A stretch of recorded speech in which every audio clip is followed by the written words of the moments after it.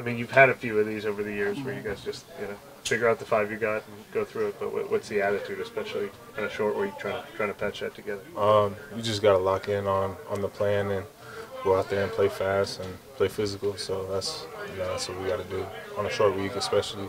Um, already this season, we've seen James play right guard. We've seen Caesar play right tackle. I Yeah. know you could be available to play left guard or left tackle if needed. What, Yeah. What's the mindset? Um, just like I said, just locking in on the plan and uh, just having great preparation. You know, these next couple days and you know wherever, you know, wherever we're lined up, we're you know gonna play and uh, give give 100% out there. How good do you feel just a couple days removed from from not having to play in the game than Yeah. you know getting the extra couple days? Definitely feel a lot better, so I'm you know excited to you know get back to it. How, how eager are you guys as linemen in general talking amongst yourselves as a position group to kind of help help this offense get on track? Uh, yeah, definitely. Uh, you know,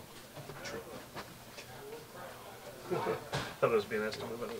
definitely we want to get the offense on track. So just you know playing our part and uh, you know really being locked in and you know communication and execution. Really. How close do you guys think you can be to that? Uh, you know we just got to keep working and keep grinding and uh, like I said, keep focusing in and you know uh, doing our best to be a part in that.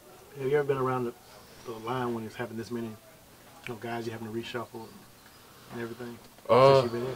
Yeah, I This mean we've week, we've had we've had years where we had to shuffle, and uh, it's always you know guys you know guys got to step up and play, and you know be ready for that for that opportunity uh, when it presents itself. Is it even tougher, like in a short week like this, to, you know, bring in the new pieces and do what you have to do?